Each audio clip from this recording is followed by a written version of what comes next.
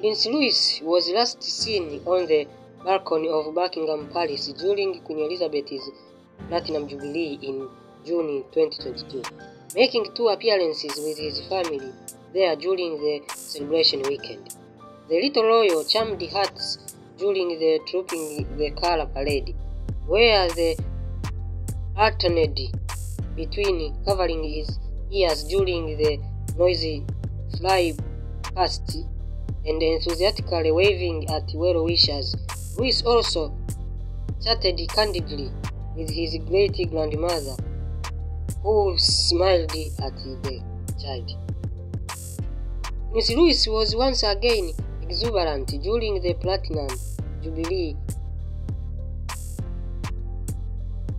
pageant concert where he danced in his seat, cuddled up to Mom Kate and even whooped up to sit on his grandfather Charles' lap. Little Louis appeared more relaxed, however, for his second appearance on the balcony of Buckingham Palace with his family, the final festival of the weekend.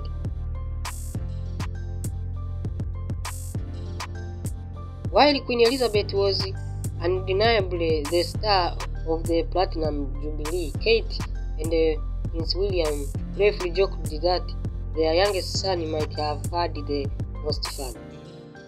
What a fantastic weekend of celebration, seeing people across the nation coming together with family, friends, and loved ones has been extremely special.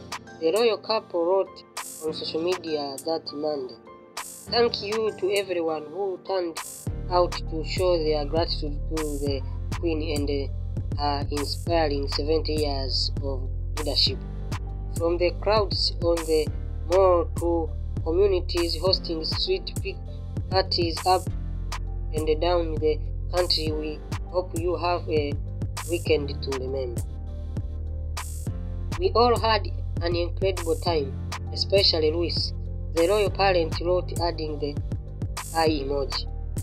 As Prince Louis brought a little levity to the historic pageantry, someone who knew the family told people it was sweet the world got to see his chick side.